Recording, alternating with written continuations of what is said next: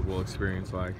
It was probably top five best times of my life, man. Up there with getting, uh, uh, I wouldn't say get drafted, but it was in the, in the realm of that, man. Just being able to experience something so huge, so big on that level. You know, I've watched it plenty of times. You know, I went to the game last year, but to be on the on the sideline and, and taking pictures, something I love to do. Um, you know, I'm definitely going to sit down and have a glass of Pinot Noir and talk about this for a long